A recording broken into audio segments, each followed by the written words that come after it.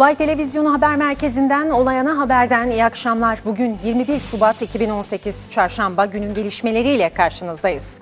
Hükümet net bir dille yalanlasa da Suriye'de rejim yanlısı güçlerin Afrin'e girip girmediğiyle ilgili belirsizlik sürüyor. Uluslararası haber ajansları Afrin'e giren hükümet destekli güçlere ait olduğu öne sürülen görüntüleri yayınladı.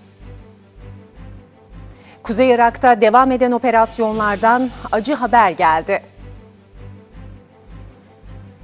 Teröristlerce tuzaklanan el yapımı patlayıcının infilak etmesi sonucu iki asker şehit oldu, bir asker yaralandı.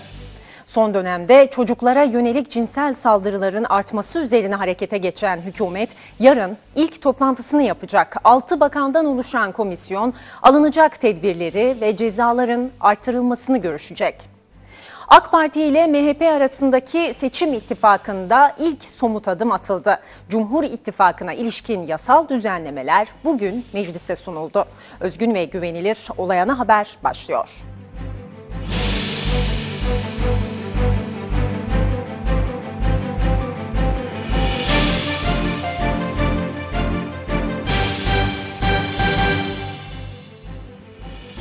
Kuzey Irak'ta devam eden operasyonlardan acı haber geldi.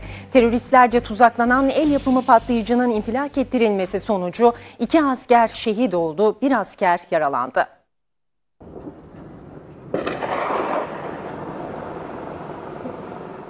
Teröristler Kuzey Irak'ta operasyon yürüten güvenlik güçlerine pusu kurdu. Tuzaklanan el yapımı patlayıcının infilak ettirilmesiyle iki asker şehit oldu, bir asker yaralandı.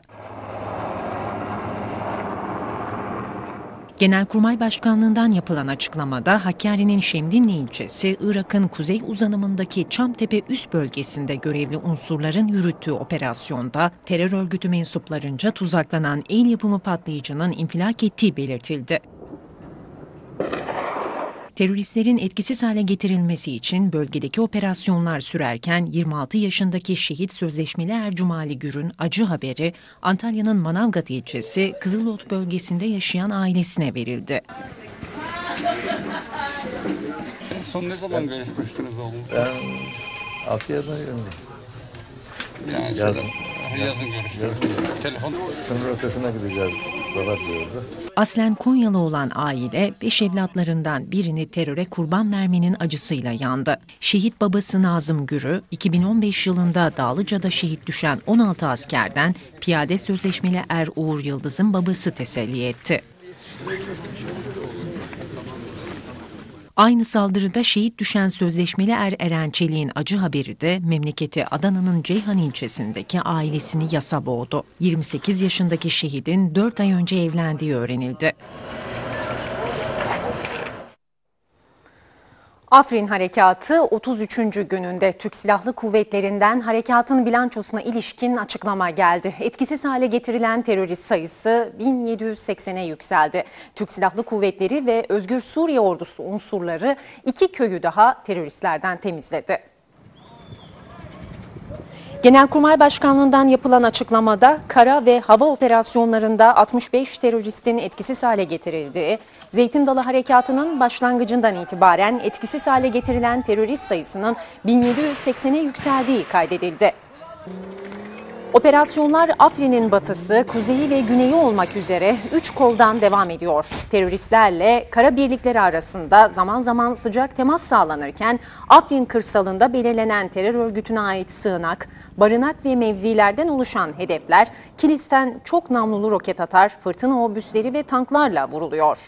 İlerleyişlerini sürdüren Türk Silahlı Kuvvetleri ve ÖSO unsurları Afrin'in kuzeydoğusundaki Şeran beldesine bağlı Ulerkan köyü ile kuzeybatısındaki Racu beldesine bağlı Karababa köyünü PYD PKK'dan kurtardı. Harekatın başından bu yana Afrin'in 5 beldesinde biri belde merkezi, 63'ü köy, 6'sı köy altı yerleşim ve 20'si stratejik dağ veya tepe, biri YPG PKK'ya ait üs olmak üzere 91 nokta örgütten kurtarılmış oldu. Dün Dar Savvan köyünün kurtarılmasıyla teröristlerin Kilis'le olan sınır teması kesilmişti. Uverkan köyünün alınmasıyla da harekat güneye doğru derinleştirilmiş oldu. Kara birlikleri Cinderes ve Raco beldelerinin teröristlerden arındırılması için operasyonlarını sürdürüyor. Cumhurbaşkanlığı Sözcüsü İbrahim Kalın, Suriye'de rejim yanlısı güçlerin Afrin'e girdiği iddialarını bir kez daha yalanladı. Haberleri propaganda amaçlı olarak niteleyen Kalın, Ankara ile Şam arasında konuyla ilgili doğrudan bir temas olmadığını da söyledi. Kalın, şartlar gerektirdiğinde istihbarat birimimiz doğrudan ya da dolaylı belli temaslar kurabilir dedi. Burada iddia edildiği gibi bir anlaşma e, söz konusu değil. Rejim veya başka bir unsurun bu yönde atacağı adımların mutlaka ciddi sonuçları e, olacaktır. Bu haberlerin bir kısmı biraz propaganda amaçlı e, yapılıyor. Her neyse o sayısı, çapı, hareket alanı ya da hedefi neyse bizim Afrin operasyonu ile ilgili kararlılığımız üzerinde en ufak bir etkisi dahi söz konusu değildi. Böyle bir girişimde bulunan kim olursa olsun bunun ciddi sonuçları olur. Bugün yarın böyle bir teşebbüste tekrar bulunabilirler mi? Mümkündür. E, ama bununla ilgili dediğim gibi tedbirler e, alınmıştır. Bizim doğrudan e, bir Ankara-Şam arasında kastedildiği manada üst düzey veya orta düzey siyasi veya diğer alanlarda bir temas trafiğimiz söz konusu değil. Fakat olağanüstü şartlar gerektirdiğinde istihbarat birimimiz e, doğrudan ya da dolaylı belli temaslar kurabilir. Ankara net bir dille yalanlasa da Suriye'de rejim yanlısı güçlerin Afrin'e girip girmediğiyle ilgili belirsizlik sürüyor. Uluslararası haber ajansları Afrin'e giren hükümet destekli güçlere ait olduğu öne sürülen görüntüleri yayınladı. Sosyal medya üzerinden yayılan bazı görüntüler Suriye hükümet güçlerinin Afrin'e giriş yaptığını ortaya koydu. Uluslararası haber ajansları tarafından geçilen görüntülerde de hükümet destekli güçlerin gece saatlerinde Afrin'de kalabalık bir grup tarafından sloganlarla karşılandığı görüldü. Görüntülerde Afrin'e ulaşan konvoyda yer alan milislerin Suriye halkı birdir sloganı atması dikkat çekiyor.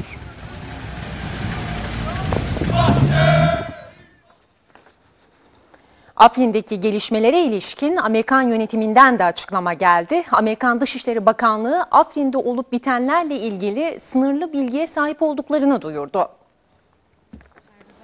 Günlük basın toplantısında gazetecilerin sorularını yanıtlayan Amerikan Dışişleri Bakanlığı Sözcüsü Heather Nauert, Afrin'de askeri kuvvetlerinin bulunmadığını belirterek herhangi bir gruba da teçhizat vermiyoruz. Bu sebeple Afrin'de olup bitenlerle ilgili bilgimiz sınırlı. Çünkü orada yokuz dedi. Sözcü son dönemde Ankara-Washington hattında gerçekleşen görüşmelerin Afrin'i kapsayıp kapsamadığı sorusuna da bunlar gizli diplomatik görüşmeler. Bakan Tillerson, Amerikalılar ve diğerleri için en iyi sonuçlara gizli görüşmeler yoluyla ulaşabileceğini düşünüyor yanıtını verdi.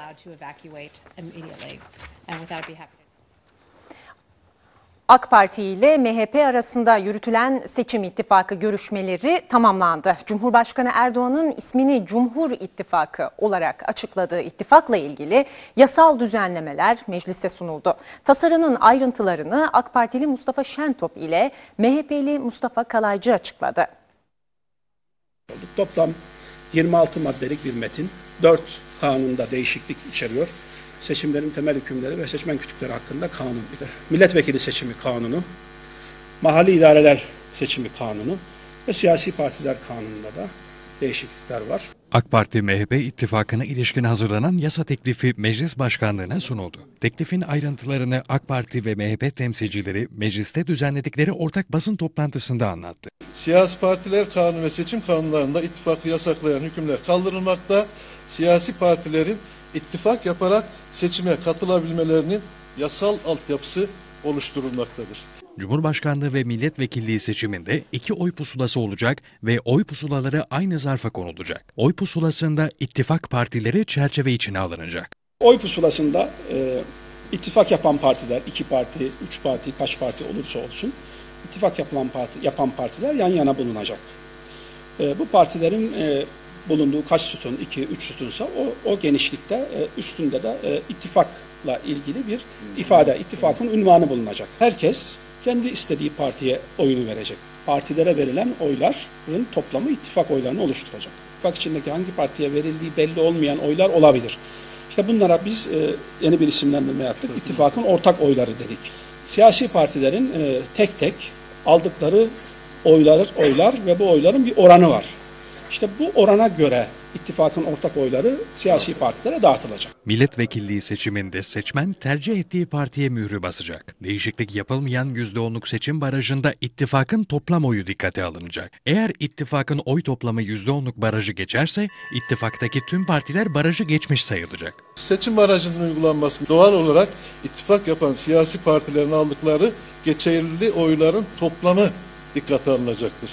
İttifakın elde ettiği milletvekili sayısı ittifak yapan siyasi partiler arasında aldıkları geçerli oy sayısı esasını alınarak dağıtılacaktır. Teklifle birlikte ittifak yapan partiler seçim takviminin başlamasının ardından 7 gün içinde YSK'ya başvuracak. Seçim sonrası partilere verilen %3'lük hazine yardımında değişikliğe gidilmeyecek. Seçimlerde bundan böyle hasta ve yatağa bağımlı olan seçmenler için seyyar sandık da kurulacak.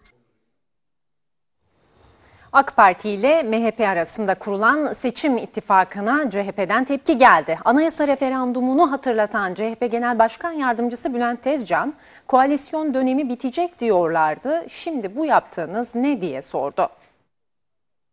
İlginç bir tablo var. Referanduma giderken AK Parti Genel Başkanı Erdoğan ve referandumu savunanlar ne diyorlardı? Koalisyon dönemi bitecek diyorlardı. Şimdi e bu yaptığınız ne? Bu ittifakla ilgili yapmaya çalıştığınız düzenlemeler seçim öncesi bir koalisyon değil mi? Hani bitecekti koalisyon? Milleti aldatmaya doymadınız ama milleti aldatırken yüzünüz kızarmadan dün için en azından bir çıkıp özür de dilemiyorsunuz. Bu bir tek adam rejimi ittifakıdır. Bu bir tek adam koalisyonudur. Ortada bir tek adam koalisyonu vardır. Ve bu koalisyonun bir tane hedefi vardır. Tek adam rejimini yerleştirmek. Bütün çalışmaları buna odaklanmış, endekslenmiş. Milleti kutuplaştırmaktan çekinmiyor.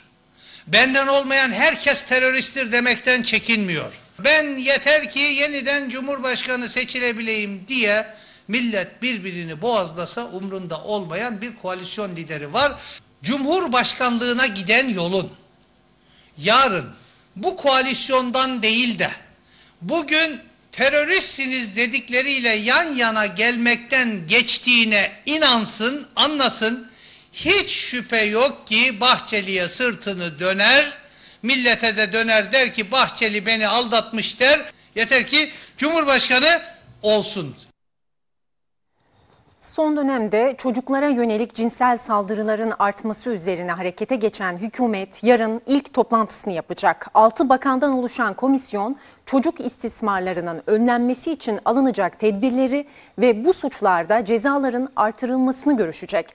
Adalet Bakanı Abdülhamit Gül, kimyasal hadımın da görüşülecek konular arasında olduğunu söyledi.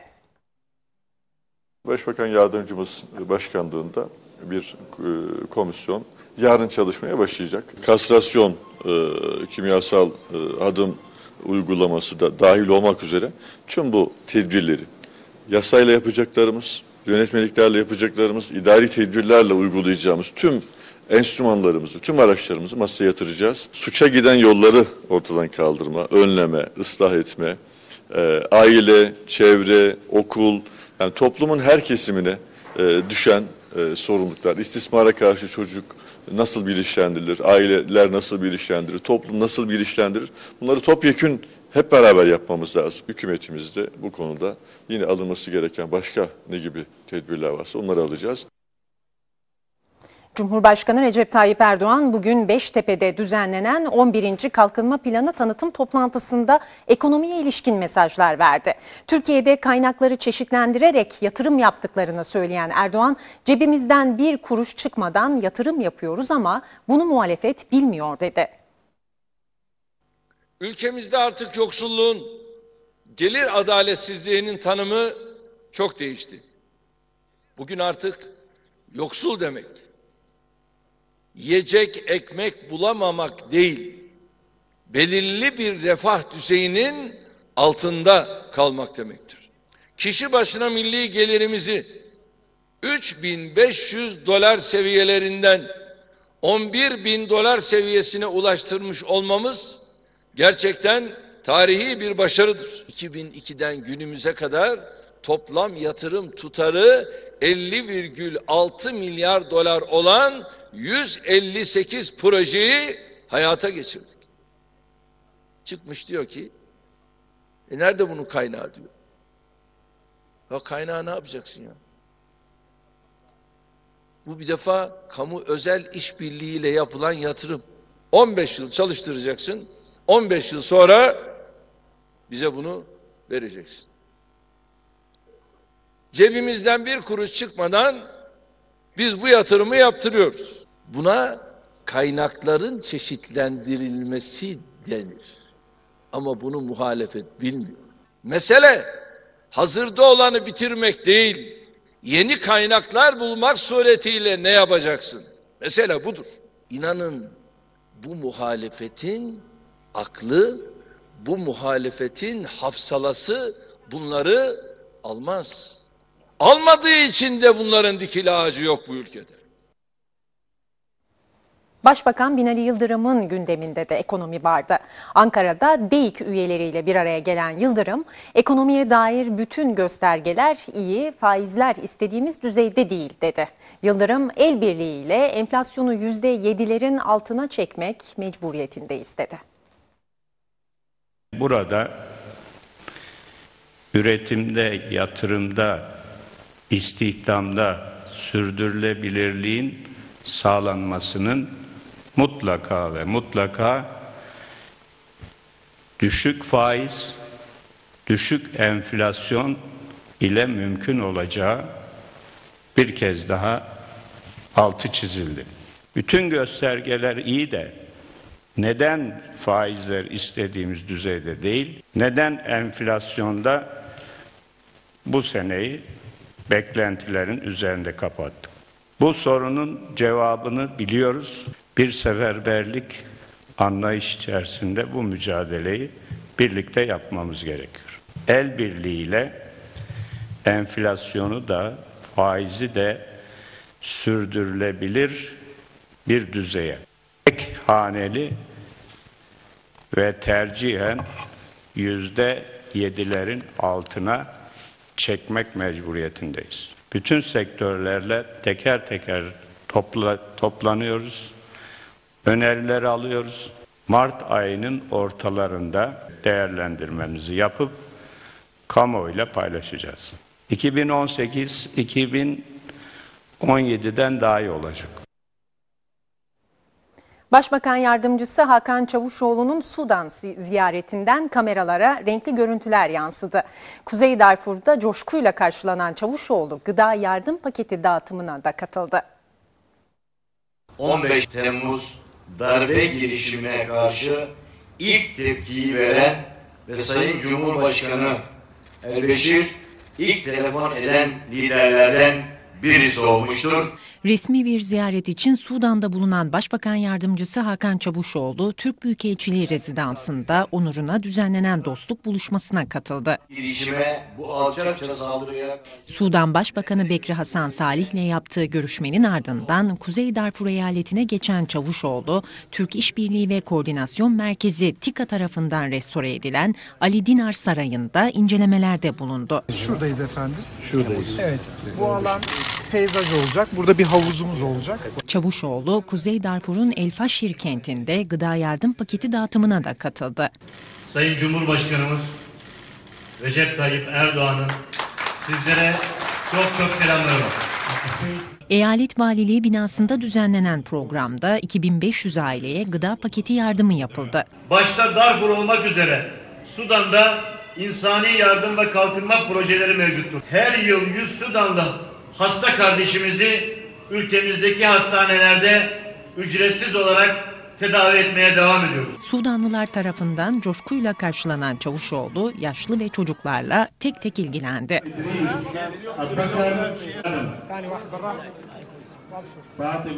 Kucağına aldığı Sudanlı bir bebeğin Çavuşoğlu'nun gözlüğünü çıkarması herkesi güldürdü.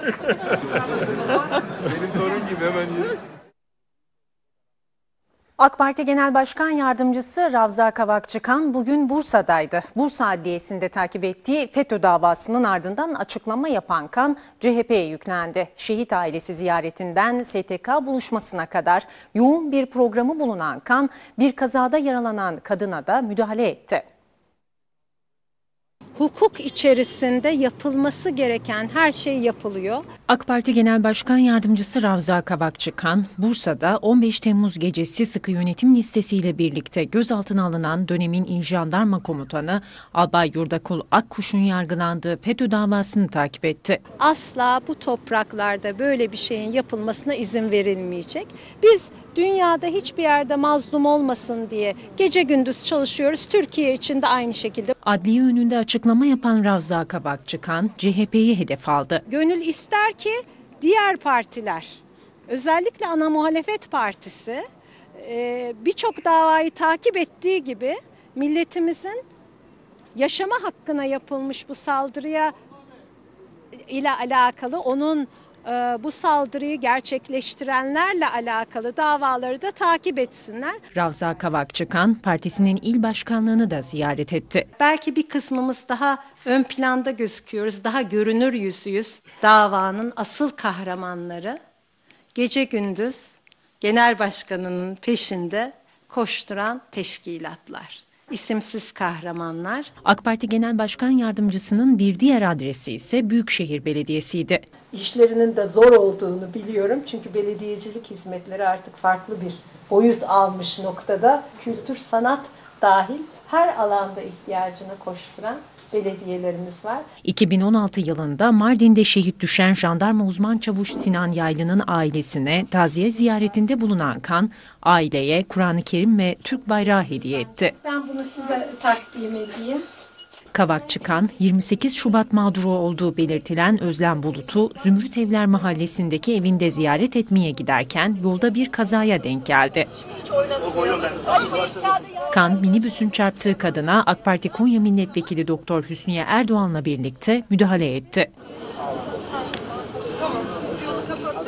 Merinos Atatürk Kongre ve Kültür Merkezi'nde STK temsilcileriyle de buluşan Kavakçıkan, 99 yılında meclise başörtüsüyle giren ablası Merve Kavakçı'nın yaşadıklarını hatırlatarak gelinen sürecin altını çizdi. Türkiye Cumhuriyeti kadına seçme seçilme hakkını 5 Aralık 1934'te vermiştir halbuki. Eski anlayış tarafından öteki görülen bazı kadınlar ancak bu hizmet etme şerefine 2015'te nail olmuştur. 21 Ocak'ta Cumhurbaşkanı Erdoğan'ı ağırlayan AK Parti Bursa İl Teşkilatları bu kez 25 Şubat'ta Başbakan Binali Yıldırım'ın katılımıyla il kongresini gerçekleştirecek. Başbakan Yıldırım Tofaş Spor Salonu'nda gerçekleşecek il kongresi öncesi dışarıda toplanan kalabalığa hitap edecek. Kadroların seçiminde 23 Ağustos'ta partisinin Bursa İl Başkanı olarak görevlendirilen Ayhan Salman liderliğindeki AK Parti teşkilatları kadın ve gençlik kolları ile ilçe kongrelerini geride bıraktı. Salman 6 aylık görev süresince yoğun bir mesai harcadı. 6 ay oldu ben il başkanlığı ile görevlendirdiğim süreçte. Tabii o sürecin içerisinde e, dediğiniz gibi Büyükşehir Belediye Başkanlığı'nda bir değişim yaşadık. Son 3-3,5 aydır da kadın kolları, gençlik kolları ve bizim ilçe kongrelerimiz yaklaşık 50 tane kongreyi yaptık. Ocak ayında Cumhurbaşkanı Erdoğan'ı İl Kadın Kolları Kongresi'nde ağırlayan AK Parti Bursa Teşkilatı'nı şimdi de 25 Şubat'ta Başbakan Binali Yıldırım'ın katılacağı ilk kongrese heyecanı sardı. 21 Ocak'ta Cumhurbaşkanımızı ağırlamıştık. Yaklaşık bir ay sonra 25 Şubat'ta da inşallah Başbakanımız Sayın Binali Yıldırım Bey'i gene aynı e, Tofaş Spor Salonu'nda Fatih Sultan Mehmet Bulvarı'nın arkasındaki hastane meydanı diye tabir edilen alanda ağırlayacağız. Başbakan Yıldırım da tıpkı Cumhurbaşkanı Erdoğan gibi önce Tofaş Spor Salonu dışında toplanan kalabalığa ardından da salonu dolduran partililere seslenecek. Hem e, salonda il kongremizi yapacağız inşallah. Öncesinde de Başbakanımız e, hitap edecekler miting alanında vatandaşımıza hitap edecekler. Salman, Yıldırım'ın Bursa'dan önemli mesajlar vereceğini söyledi. Harekat devam ediyor. Başbakanımız da yine Bursa'dan e, hem dünyaya önemli mesajlar verecek hem Bursa'mızla ilgili, Türkiye'mizle ilgili önemli meselelere değinecekler. Bursa müze kent olma yolunda ilerliyor. Kültürel değerleri genç kuşaklara aktarma hedefiyle Büyükşehir Belediyesi tarafından kente kazandırılan Bursa Yaşam Kültürü Müzesi törenle hizmete girdi.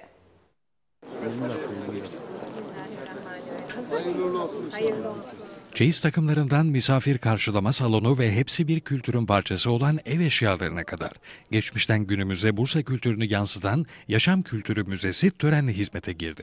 Tarihi mirasa sahip çıkma noktasında öncü bir şehirdir ve Tarihi Kentler Birliği'nin kurulması da burada olmuştur. Ve bu eser bu bölgeye ayrı değer kattığı gibi Bursa turizmine, Bursa kültürüne de yeni bir nefes aldıracaktır. Büyükşehir Belediyesi tarafından kente kazandırılan müzeyle kültürel değerlerin genç kuşaklara aktarılması hedefleniyor. Bursa bu konuda çok zengin. 16 tane müzemiz var. Her biri farklı konseptlerle tarihimize, kültürümüze, gelenek ve göreneklerimize, bilgi birikimimize ışık tutuyor. Bursa gerçekten Osman Gazi'ye, e, Osmanlı'ya başkentlik etmiş. Geçmişten geleceğe uzanan kadim medeniyet köprüsünde kilit noktasında olan bir şehir. Ali Paşa Mahallesi'ndeki açılışta konuşan Büyükşehir Belediye Başkanı Ali Nur Aktaş, müzenin özenli bir çalışmayla kente kazandırıldığını söyledi. 18. yüzyıl olarak tarihlendiriliyor müzemiz. Tarihi Bursa mahallelerinden biri olan Ali Paşa mahallemize kademe terk edilmiş özel mülkiyetteki bir yapıydı burası. Çeyiz geleneğinden sünnet adetlerine, misafir ağırlamadan hacı tenhiyelerine varana kadar geleneksel kültürümüzün tüm yansımalarını bu müzede görmek mümkün. Açılış törenine AK Parti Genel Başkan Yardımcısı Ravza Kavakçı Kan da katıldı. Ne kadar güzel hayata dair tarihimizi ve kültürümüzü yaşatabileceğimiz evler insanın insanların yaşadığı eşref mahlukat olan insanın hayat bulduğu evlerimiz, eski mimarimiz bizim için çok kıymetli. Bursa'da taksi ücretlerine zam geldi. Taksimetre açılışıyla kilometre başına ücret yaklaşık %10 arttı. Bursa'da taksimetre açılış ücreti 3 lira 60 kuruştan 4 liraya çıkarken kilometre ücreti ise 3 liradan 3 lira 30 liraya yükseldi. Bursa'da taksi ücretlerine en son bir yıl önce zam yapıldığını belirten Şoförler Odası Başkanı Hasan Topçu, zamları akaryakıt fiyatlarındaki artışa bağladı. Topçu, taksi dolmuşlarda ise herhangi bir ücret değişikliği olmadığını ifade ederek kısa tarifenin 2,5 lira, uzun tarifenin ise 2 lira 75 kuruş olarak devam ettiğini kaydetti. Bursa'nın Gürsa ilçesinde 3'ü Suriyeli 5 kişinin yaşamını yitirdiği buhar kazanı patlaması ile ilgili davada sıcak bir gelişme yaşandı. Tutuklu yargılanan iş yeri sahibi ilk duruşmada tahliye edildi. 8 Kasım 2017'de bir tekstil boyahanesinde meydana gelen buhar kazanı patlaması ile ilgili açılan davada ilk duruşma görüldü. Taksirle birden fazla kişinin ölümüne ve yaralanmasına neden olmak suçundan yargılanan iş yeri sahibi Şükrü Demir ilk duruşmada tahliye edildi. Demir savunmasında fabrikadaki işlerle çocuklarının ilgilendiğini öne sürdü. İş yerine sadece gerektiği zaman evrak imzalamak için gittiğini iddia eden Demir, patlayan kazanın da bakımının yapıldığını öne sürdü. İlk duruşmada patlamada yaralanan iki kişiyle hayatını kaybeden Yasir Saraç'ın ailesi şikayetçi oldu. Ancak şikayetlere ve bilirkişi raporuna rağmen mahkeme heyeti iş yeri sahibinin tutuksuz yargılanmasına karar verdi.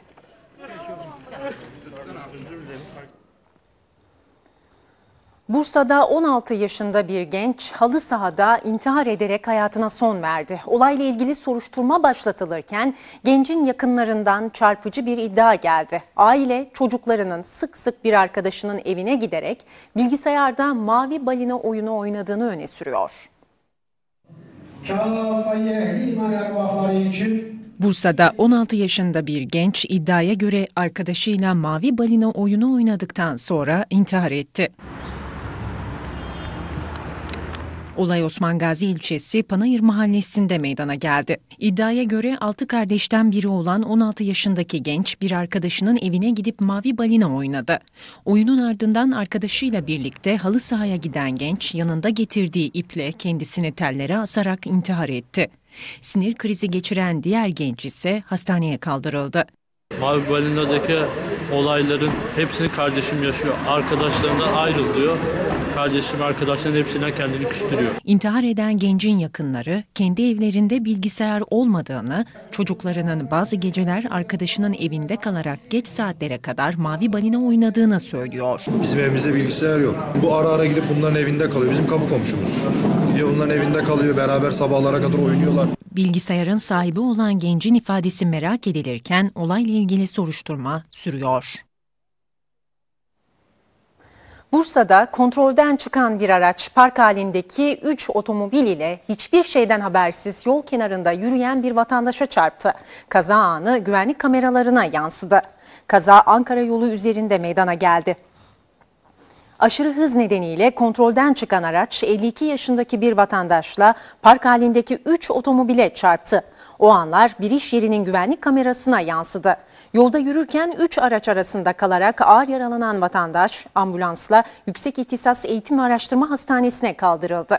Polis kazayla ilgili soruşturma başlattı.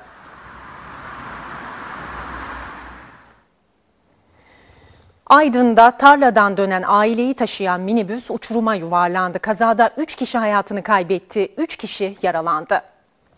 Kaza akşam saatlerinde Köşk ilçesine bağlı Akçaköy mahallesi yakınlarında meydana geldi. İzmir'in Ödemiş ilçesine bağlı Çakırköy mahallesinde yaşayan 6 kişilik Saylan ailesi, Köşk ilçesi Başçayır mahallesi Yaka mevkiinde bulunan tarlalarında zeytin topladıktan sonra Habib Saylan'ın kullandığı minibüsle eve dönmek için yola çıktı. Akçaköy yakınlarına geldiklerinde sürücünün direksiyon hakimiyetini kaybettiği minibüs yoldan çıkarak 200 metrelik uçuruma sürüklendi.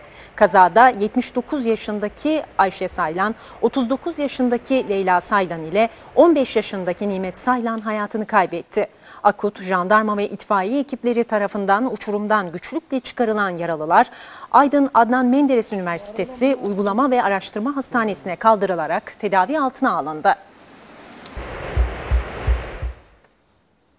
Ankara Gar katliamının firari sanığı Nusret Yılmaz'ın geçtiğimiz yıl Gürcistan sınır kapısında yakalanıp Türkiye'ye iade edildiği ortaya çıktı. Kırmızı bültenle aranan IŞİD'li teröristin gözaltına alınmadığı iddia edildi. 10 Ekim Ankara Gar katliamı ile birçok IŞİD davasının firari sanığı Nusret Yılmaz'ın 2017 yılında Artvin'in Hopa ilçesindeki Sarp sınır kapısından Gürcistan'a girmek istediği iddia edildi. Türkiye sınır polisi geçişe izin verirken Gürcü sınır polisi Yılmaz'ın hem Türkiye hem Amerika Birleşik Devletleri tarafından arama kararı olduğunu tespit etti. Yılmaz Gürcü polisi tarafından ülkeye girmeden sınır dışı edildi. Ancak olaydan iki gün sonra Nusret Yılmaz yeniden Sarp sınır kapısından Gürcistan'a geçmeye çalıştı. Gürcistan makamları tarafından yeniden ülkeye girişine izin verilmeyen Nusret Yılmaz hakkında Adalet Bakanlığı'nca yazılan yazıda nerede olduğu konusunda bir bilgi verilmedi. 10 Ekim 2015'te Ankara Garı önünde sivil toplum kuruluşları ve sendikalar tarafından düzenlenen barış mitingine iki canlı bomba tarafından gerçekleştirilen saldırıda 102 kişi hayatını kaybetmişti. İstanbul Bağcılar'da maskeli ve silahlı 4 kişi kuyumcu dükkanını soydu. 200 bin lira değerinde altın çalan soyguncular kayıplara karıştı. Dün akşam maskeli 4 kişi Göztepe mahallesinde bir site içerisinde yer alan alışveriş merkezinde bulunan kuyumcuya gitti. Soyguncular silah zoruyla altınları alarak kaçtı. Kaçarken de takip edilmemek için havaya ateş açtı. İhbar üzerine çevreye çok sayıda polis ekibi sevk edildi. Olay yerinde inceleme yapıldı. Soyguncuları yakalayabilmek için bölgede özel harekat polislerinin de katılımıyla geniş çaplı operasyon başlatıldı. İstanbul Kadıköy'de bir bina önlem alınmadan yıkıldı. Moloz parçaları yoldan geçen bir otomobilin üzerine düştü. O anlar kameraya yansıdı. Olay Fenerbahçe Tunaman sokakta meydana geldi. Bir binanın yıkımı için çalışan iş makinesinin darbesiyle binanın iki katı kontrolsüz bir şekilde yıkıldı. O sırada sokağa giren otomobil sürücüsü büyük tehlike atlattı. Çevre güvenliği alınmadan yapılan yıkımda büyük bir gürültüyle kopan moloz parçaları sokaktan geçen aracın üstüne düştü. O anlar yoldan geçen bir vatandaş tarafından saniye saniye kaydedildi. Yıkım yapılırken sokaktan geçen kimsenin olmaması ise olası faciayı önledi. Suriye'nin başkenti Şam yakınlarındaki Doğu Guta'da insani kriz her geçen gün daha da derinleşiyor. Rejim güçlerinin bölgeye yönelik bombardımanında son 48 saat içinde en az 250 kişinin hayatını kaybettiği belirtiliyor. Kurbanlar arasında 50 kadar da çocuk bulunuyor.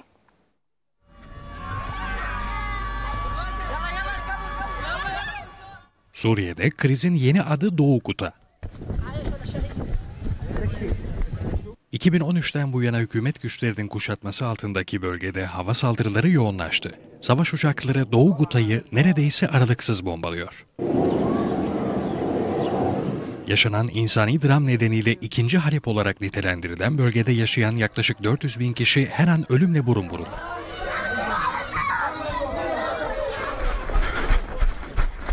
Pazar akşamından bu yana en az 250 kişinin saldırılarda hayatını kaybettiği belirtildi. 1200'den fazla da yaralı var. Hayatını kaybedenler arasında 50'den fazla çocuk da bulunuyor.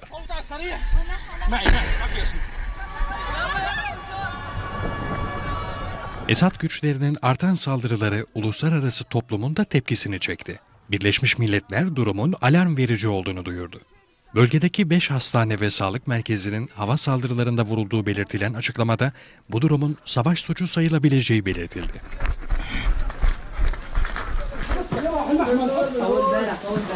Amerikan yönetimi de yaşananlardan kaygı duyduklarını açıkladı, bir aylık ateşkes ilan edilmesi çağrısı yaptı. Doğu Guta, Türkiye, Rusya ve İran arasında varılan anlaşmaya göre ateşkes uygulanacak çatışmasızlık bölgeleri arasında yer alıyor. Ancak anlaşma El-Kaide bağlantılı örgütleri kapsamadığı için Şam yönetimi bölgeye operasyonlar düzenliyor. Güney Amerika ülkesi Peru'da kaçak yapılaşmayla mücadele kanlı bitti. Başkent Lima'da gece konduların tahliyesi sırasında çıkan olaylarda bir kişi yaşamını yitirdi.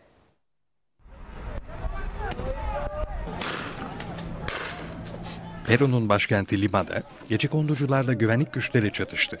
Sokaklar savaş alanına döndü.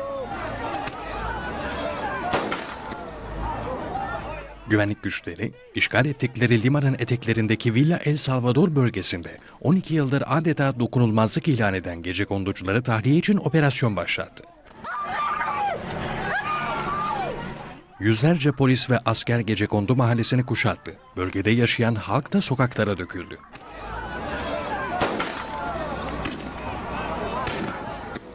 Operasyona askeri birliklerin yanı sıra havadan da helikopterler destek verdi.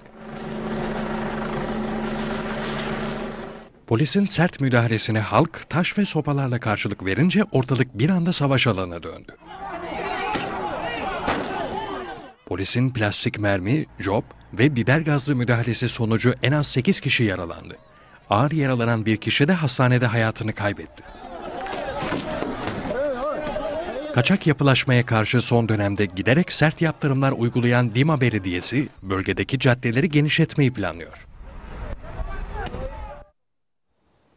Egzotik bitkiler ve eşsiz hayvan türleriyle Arjantin bir harikalar diyarı. Ancak yasa dışı hayvan kaçakçılığında da durum bir o kadar tehlikeli.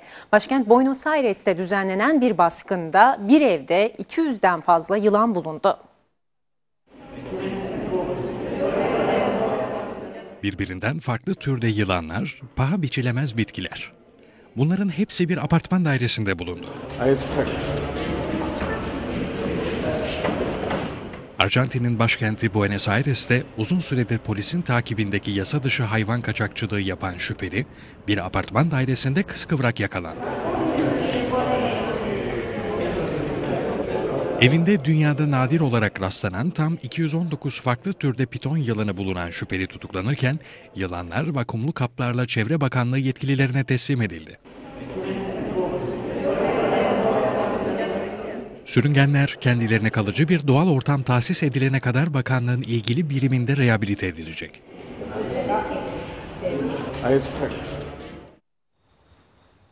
Dünyanın en büyük ve en eski oyuncak fuarlarından Uluslararası New York Oyuncak Fuarı açıldı. 40 bin metrekarelik alana kurulan fuarda dünyanın önde gelen oyuncak firmaları yeni ürünlerini sergiliyor.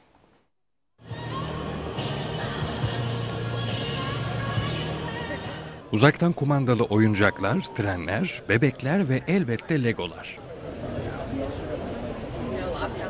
Bu yıl 115.si düzenlenen Uluslararası New York Oyuncak Fuarı kapılarını açtı. Cevit Center'da yaklaşık 40 bin metrekarelik alana kurulan fuarda, dünyanın önde gelen oyuncak firmaları yeni yaratıcı ve aynı zamanda beceri geliştirmeye yönelik en son ürünlerini tanıttı. Ürünler teknolojik, tasarımlar zorlayıcı olunca fuara yetişkinlerin ilgisi dikkat çekti.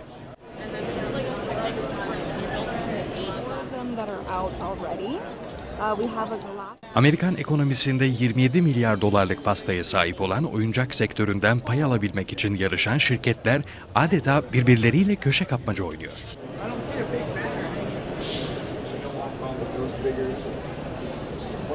Fuarda yaklaşık 100 farklı ülkeden 30 bin katılımcı ve binden fazla tanınmış firma yer alıyor.